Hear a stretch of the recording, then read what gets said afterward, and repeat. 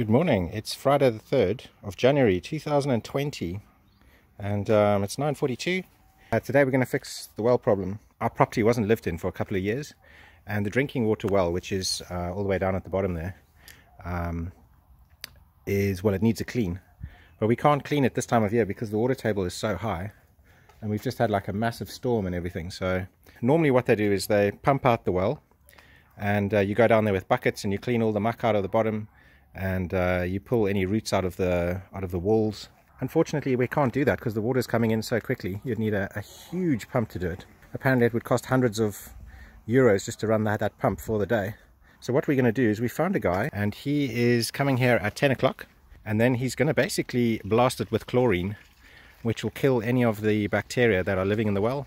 Hopefully give us clean water uh, that we can use for the next, I don't know, a couple of months until uh, summer comes and the water table drops and then we can easily pump it out and give it a clean ourselves, you know.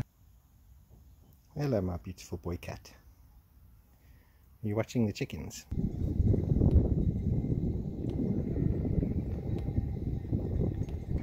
Well, what do we have here? We have a wood burning stove.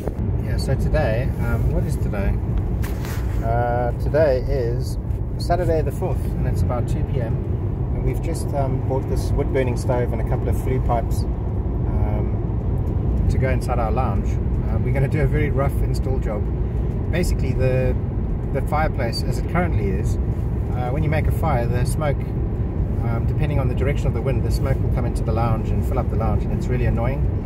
So I think if I just put this wood burning stove in there with some flue pipes going all the way up to the top of the chimney, uh, hopefully that'll work to get this on here is incredibly difficult and um, you have to be exactly on target. You can't do it with this aluminium stuff on. Well you can but it's so tight and to do it up in the chimney is virtually impossible. Uh, you know what I mean? Like, look, I can't.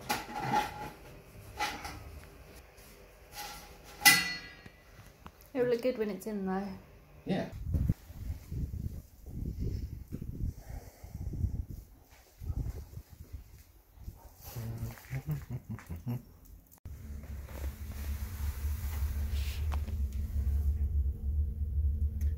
It's working nicely. It's working very nicely.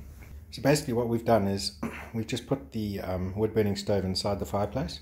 And we've attached one meter of um, flue pipe going up the existing chimney. And uh, that seems to have solved our smoke problem. We didn't even have to go all the way up to the top, which is really great. And uh, and we got a nice amount of heat coming out of it. Apparently it's 12 12 and a half kilowatts.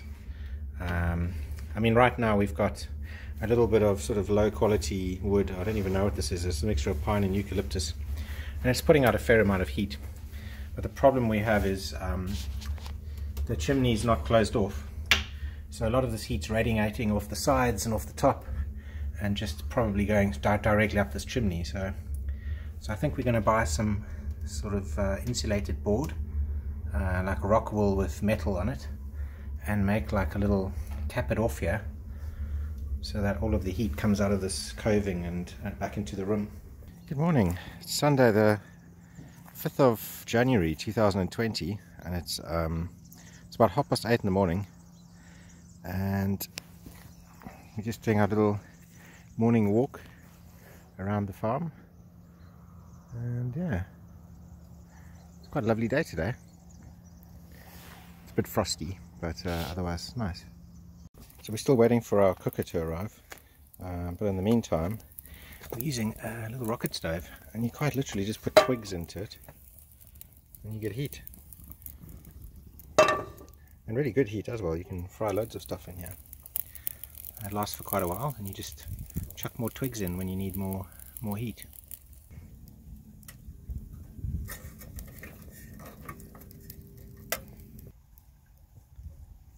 Chickens. So Sunday, 1.53, Sunday the 5th of January. oh, beer time. We've been working uh, with hand tools and just cleaning up the vines. So we've been pruning them because they haven't been pruned in ages. and uh, cleaning all the weeds from the base of them because um, there were lots of weeds and everything all just built up and then scraping all of the stuff into a pile in the middle.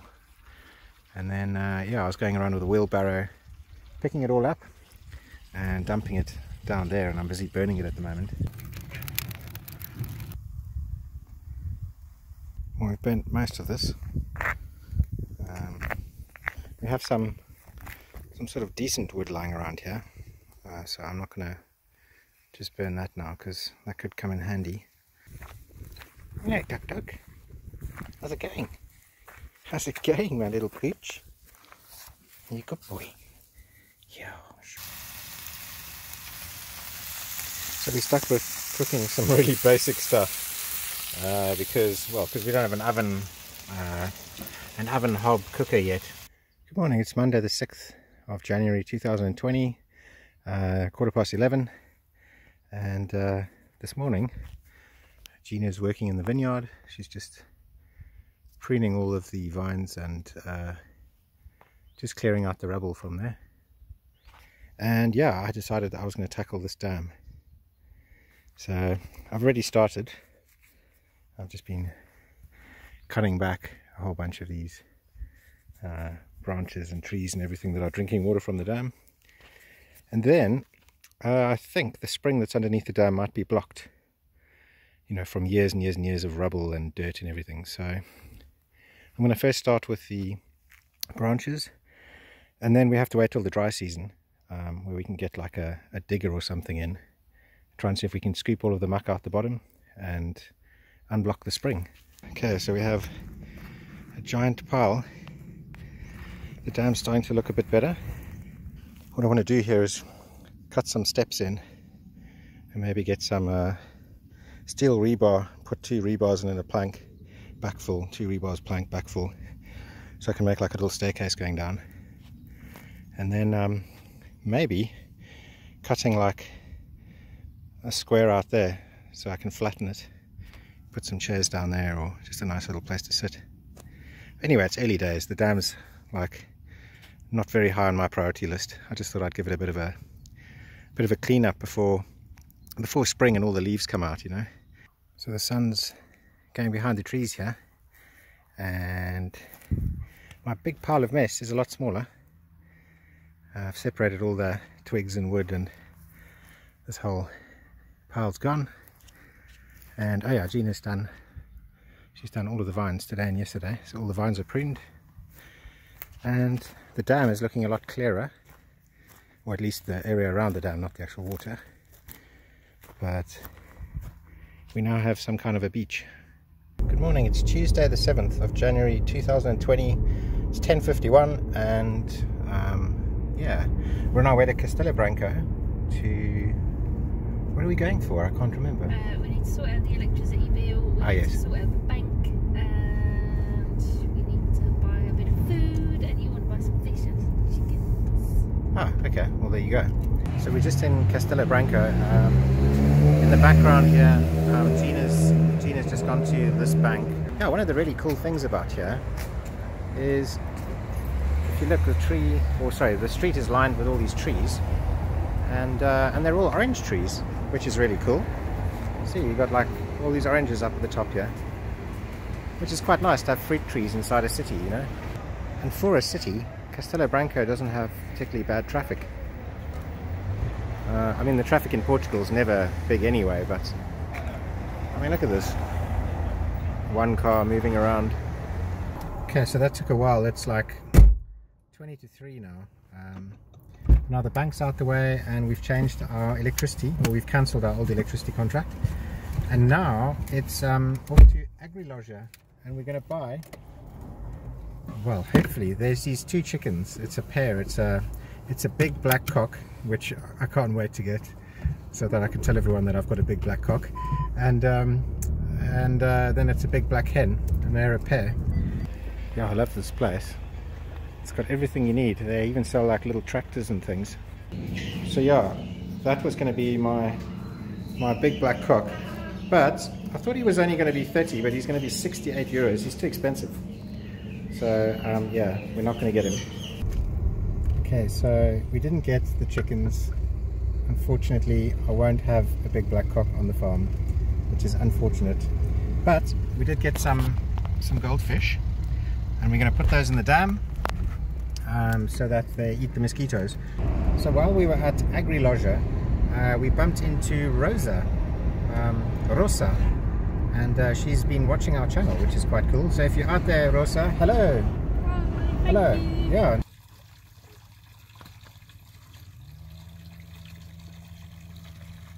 So we got a bag of 10 goldfish.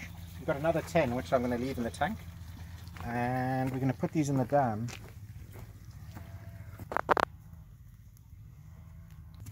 You coming? Well, I'm going to put the phone down before I walk down there. Okay. Okay, so I have actually acclimatized the fish to the water. We've been keeping them inside the water now for about 20 minutes, 30 minutes. Um, oh, I didn't bring scissors.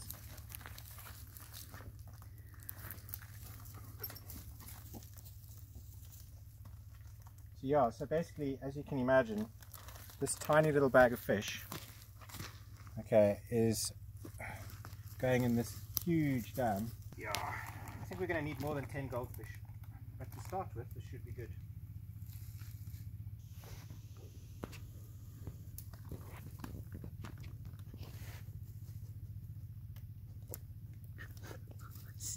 Stop it. My was sniffing my ear roll. Oh, there's one stuck in the bag. There we go. Alright, yeah, it's almost impossible to see these guys. Look, there's... That's it, never to be seen again. Yeah, pretty much.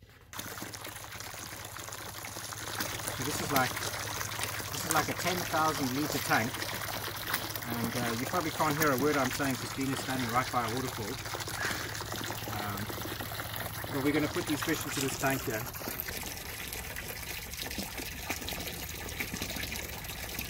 And there they go, sinking into the abyss. I don't know if you can see these little fish. They're having a whale of a time. So when's our when's our cooker arriving, Gina? Friday. Friday, hopefully. So, so, get lost. so are you like a cave woman now? It's amazing how long everything takes. I mean, you can't just shove it in an oven. Yeah, but isn't it amazing how much time you have? I feel like we need to be doing lots of things though, not just cooking. But yes, it is nice that we have time to, to stoke the easy stove. Yeah. Actually, the easy stove is better than the camping stove. It's yeah. more efficient. This is free. Yeah. And it heats it up quicker. It's just time consuming. Come on, piggies. Bedtime. I need to go this way.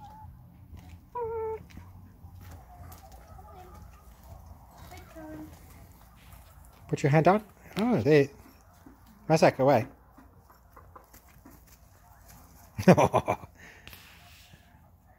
that was uh, the, the chicken was going into the mating position. It saw Gina as being the cockerel. How many we've got? One, two, three, four, five, six, seven, eight. Right, you all in then. Good night, girlies. Go and roost. Go sleep well, my child. So Wednesday, the 8th of January 2020, 11.37 in the morning, and yeah, I've just come down to the dam um, just to see if I can find any of the goldfish that I put in yesterday. If there was any bodies floating on the top, because you know this water is quite stagnant, and the stagnation in itself is not a problem, um, but it's the fact that the surface uh, is not getting oxygen going through it because it's got this sort of scummy layer on the top. So there's going to be very low oxygen levels, um, which I guess is not a problem if there's um, only a couple of fish. So yeah, it looks alright. I don't see any little orange floating bodies. Oh wow, okay, so I can see some of the goldfish um, just in front of that. So Thursday the 9th of January 2020, 123. Um, I am waiting for a delivery guy to come and uh, bring my computer parts. Because uh, yeah my computer's been busted for a while so um, oh yeah we did a little bit of painting. If you notice in this room we've we've painted all these walls white. Makes a big difference. Uh, when we moved in this was like a really messy area and the walls were almost black from soot from the oven. And there were spider webs everywhere. There were pieces of metal hanging from the ceiling like wires and stuff so we've cleaned it up. And now we have a nice little wood storage area and somewhere to do like outdoor kitchen activities. Um, yeah so, so we just put paint on. We didn't really do anything fancy but makes a big difference. Friday the 10th of January 2020 and it's quarter to one. A couple of days ago we put some we put some goldfish in this dam.